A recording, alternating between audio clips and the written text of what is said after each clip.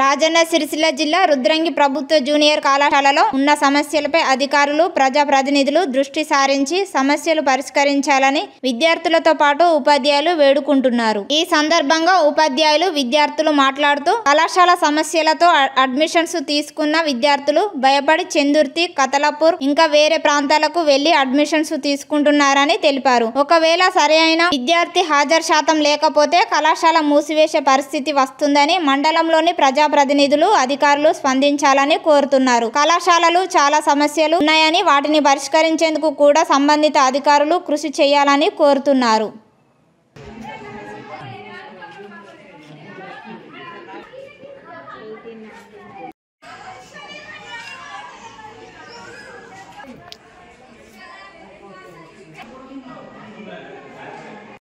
నా పేరు టి పవన్ కుమార్. నేను Goud junior college second year CS నుంచి చదువుతున్నాను.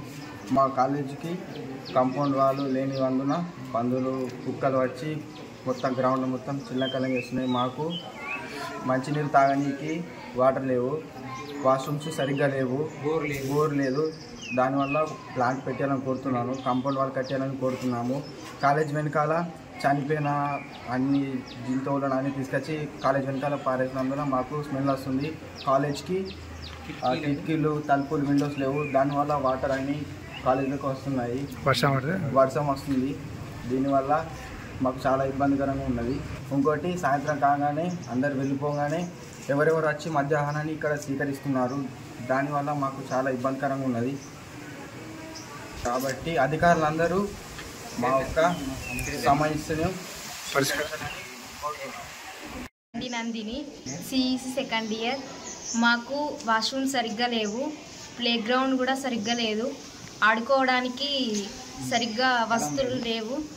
వాటర్ మాకు వాటర్ కూడా లేవు. మాకు ఒక వాటర్ ప్లాంట్ కావాలని కోరుకుంటున్నాను. మాకు పరారు కూడా సరిగ్గా లేదు. పందులు కుక్కలు అన్నీ వస్తున్నాయి. మాకు పరారు కూడా పెట్టించాలని కోరుకుంటున్నాను కాబట్టి ప్రజాప్రతినిధులందరూ ఈ సమస్యను తొందరలో పరిష్కరించాలని కోరుకుంటున్నాను